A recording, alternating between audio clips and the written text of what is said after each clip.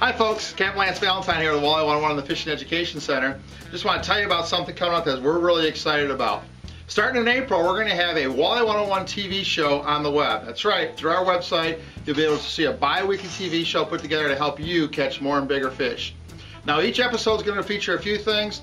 We're going to go on the water and show you a tipper technique that's relevant to when and where we're fishing right now. We're going to come back into the classroom here at the Fishing Education Center and get you really dialed into some really hardcore information to make you a better fisherman. Then we're going to show you electronics tips so you can use your Lowrance electronics a whole lot better. Going to give you a product of the week and then last but not least we're going to get you on a hot bite for that time of year so you can go out and catch more fish.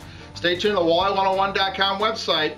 Coming soon, the Walleye 101 TV show on the web. Look for it. We're going to help you catch more and bigger fish. For more information, make sure you check us out on the website, walleye101.com, and a few other places. You can go to facebook.walleye101.com to get our Lance Valentine's Walleye 101 Facebook page. Lots of good information and fishing reports there.